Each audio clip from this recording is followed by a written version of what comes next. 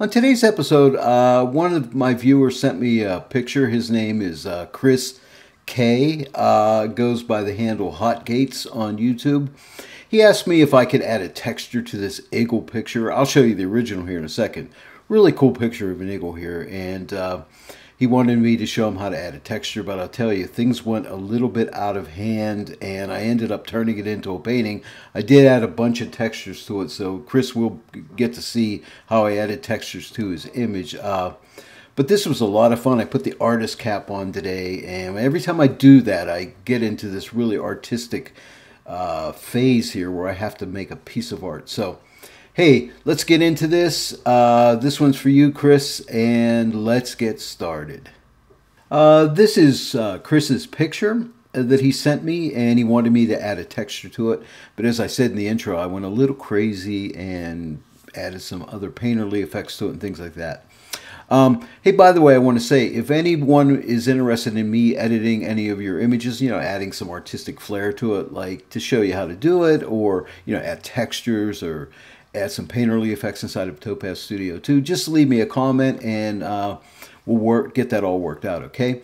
Uh, but anyway, here's how we started. Uh, I duplicated the background layer and then I sent it into Camera Raw because I thought right here in the image it looks nice, but I thought if I'm going to add texture to it, I want to bring out some of the shadow detail here, so I just wanted to open up the shadows a little bit. So I sent it into Camera Raw and just bumped up the shadows. That's all I did. Move the shadow slider to the right and that's what I got. And from there, I sent it into Topaz Studio 2.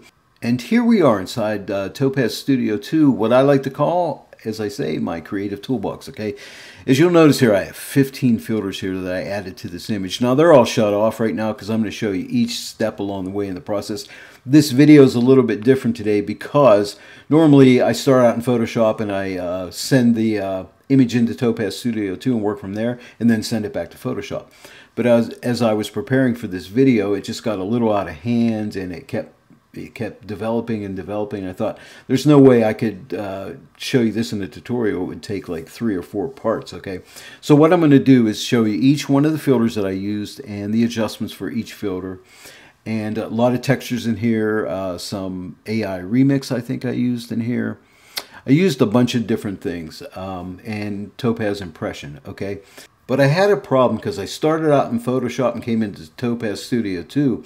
So how could I open this back up in Topaz Studio 2? And so then I thought, what happens if I come up to the uh, file menu and I noticed here it says save project. So what I did was I thought this is cool. I'll save the project. So I click save project, gave it a name, and saved it out to a, to a hard drive, okay, so I could come back and open it back up again.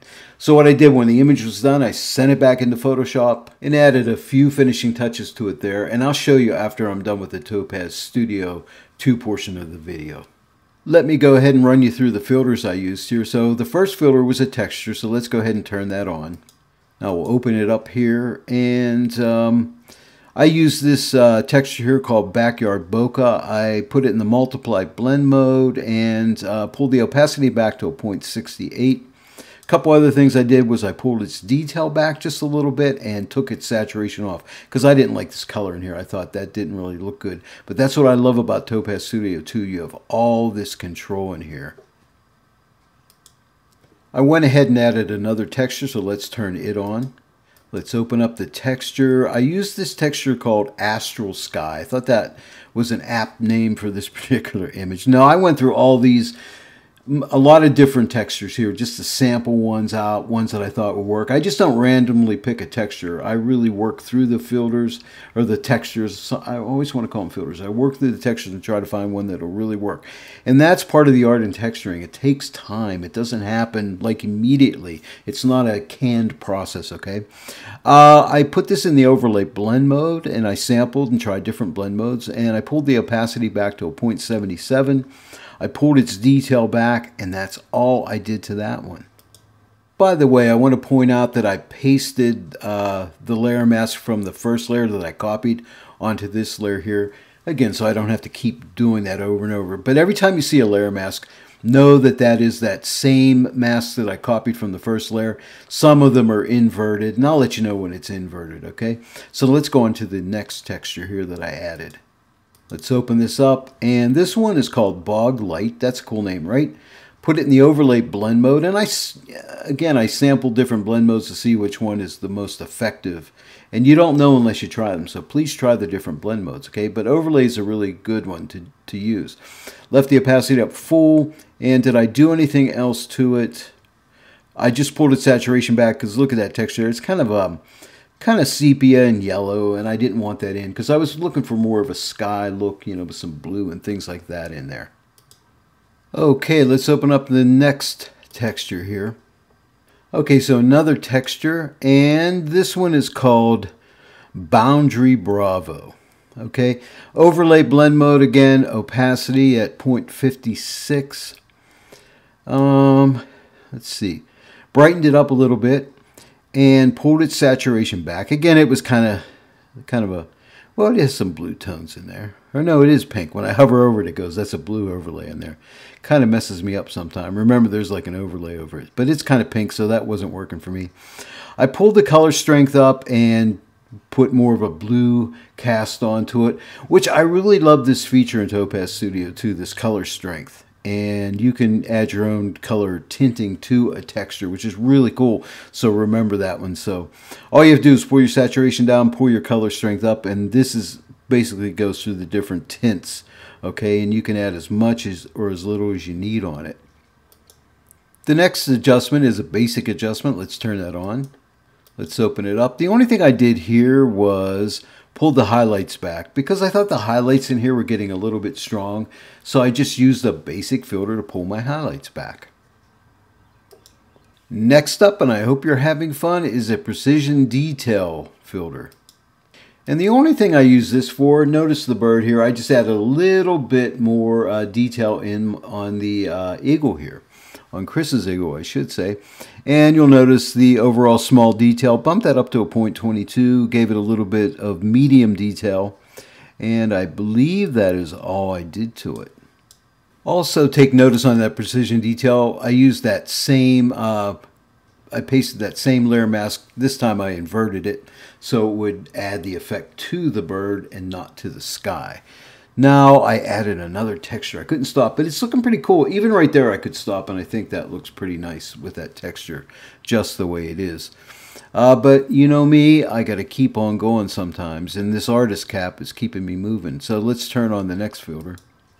Another texture. Let's open it up here. Um, this one is called Bottle Brush and Overlay Blend Mode. Again, I guess I love that Overlay Blend Mode. It is a popular one for textures. But don't forget to sample the different blend modes. And opacity is at 0.68. So play with your opacities too. Very important for textures.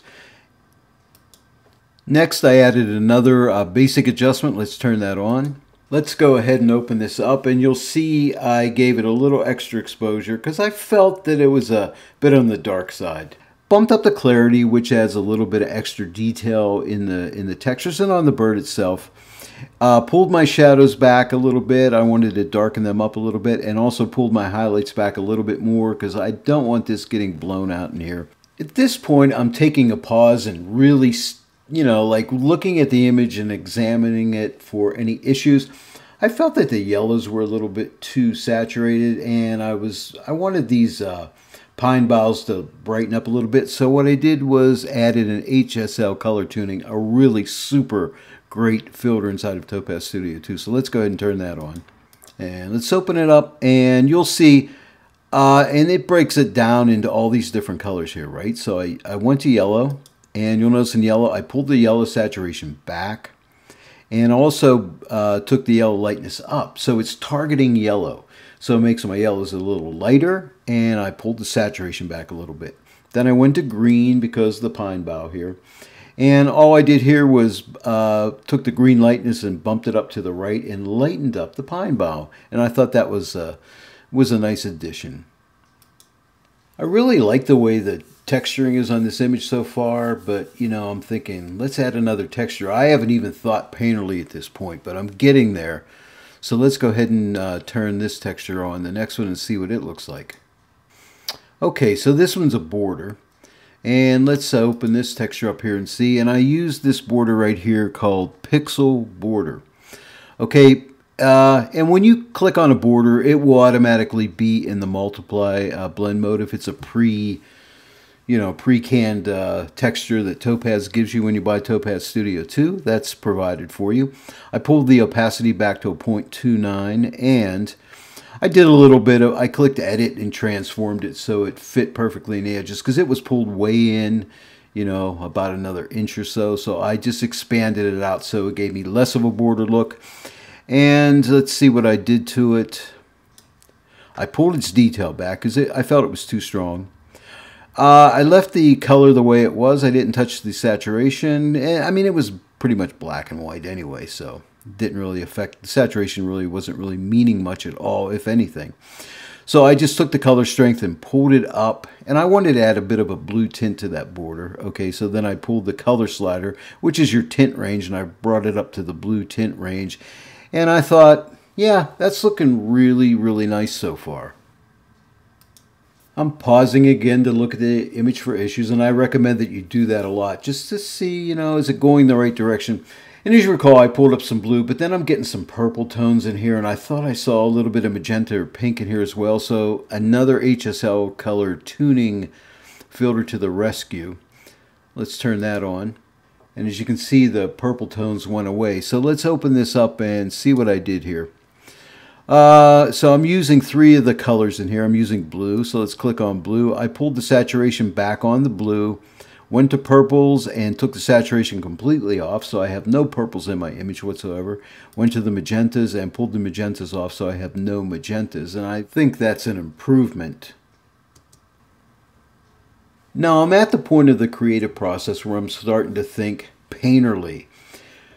And I find through experimentation that whenever you add textures to um, images, sometimes if you add uh, some the some of the impression filter to it, the textures take on a really nice uh, painting type quality. Okay, so I wanted to see what that would do. So the, again, this is all experimentation. And again, Topaz Studio 2, your creative toolbox. So let's go ahead and turn the impression filter on.